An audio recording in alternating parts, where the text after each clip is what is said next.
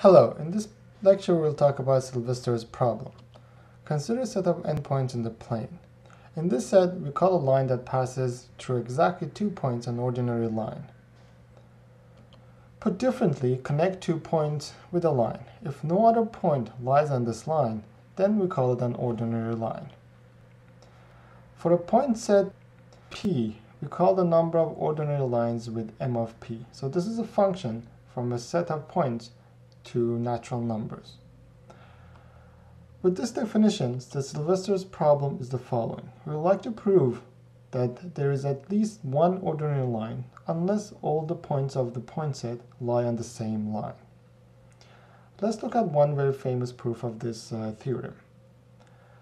Consider two points and connect them with a line L. There could be other points on this line as well, but we don't care about that for now.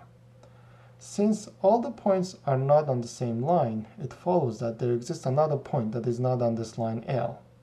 Among those points, look at the closest one. That defines a distance h of L from a point that is not on L to this line L.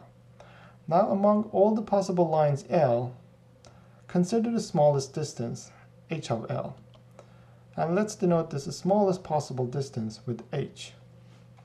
The distance h is the smallest possible distance between a line and a point.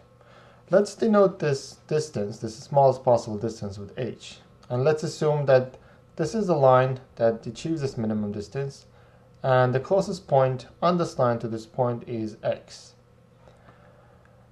So if this line contains two points, but then we're done. So assume there are at least three points on this line. The point x divides the line into two pieces the part of the line that is to the left of x that includes also x, and the part of the line that includes x and is to the right of x. Without loss of generality, we can assume that one of these pieces has at least two points. Let's say the left piece has two points, B and C. We would like to claim that the point C has a smaller distance to line AB than H since we assumed h was the smallest possible distance, this would give us a contradiction, and it would imply that there cannot be more than two points on this line L. Let's add some notations to the picture. Let's call this point x prime and this angle alpha. We'd like to prove that the distance from point A to x is larger than the distance from point C to x prime. To do that, we'll need to use some geometry, even though from the picture it's sort of the obvious that this is true.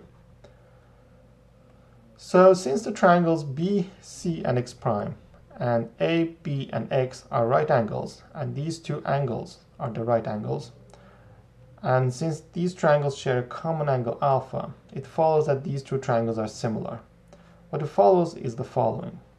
It means that AB divided by BC equals AX divided by CX prime. This is because AB looks at the right angle in the first triangle and BC looks at the right angle in the second triangle. AX looks at the same angle alpha in the first triangle and CX prime looks at the same angle alpha in the second triangle. Since they're both uh, same similar triangle, it follows that these two ratios should be equal. But from the picture, we know that BC is smaller or equal at most to the distance bx. Furthermore, bx is smaller than the distance AB. This is because AB is the largest edge in the distance AX and B. This is because it's looking at a right angle. So we can conclude that BC is smaller than AB. And thus it follows that this ratio is strictly bigger than 1. Since this ratio is bigger than 1, follows that AX is larger than CX prime, which means the distance from point A to this line is larger than the distance from point C to the line AB.